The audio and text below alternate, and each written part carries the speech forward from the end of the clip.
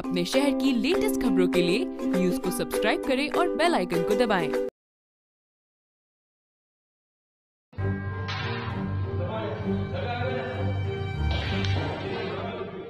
पाकिस्तान का ये वीडियो इन दिनों सोशल मीडिया पर जमकर वायरल हो रहा है।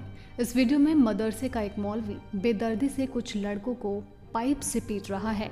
हालाँकि इस दौरान एक शख्स उन्हें रोकते हुए कहता है कि आप इस तरह बच्चे को नहीं मार सकते हैं। भाई साहब इस तरीके से मत मारो। नहीं मारो इस तरीके से ये तरीका नहीं है मारने का ये गलत तरीका है।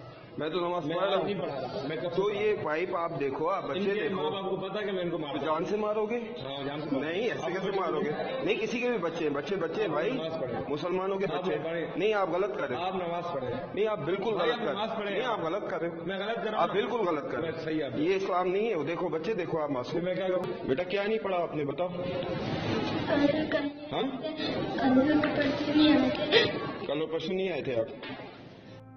शख्स के रोकने के बावजूद मौलवी बच्चों की पिटाई करता रहता है। ये वीडियो कराची का बताया जा रहा है और इसे देखने वाले लोग इस मौलवी पर कड़ी कार्रवाई की मांग कर रहे हैं। News desk.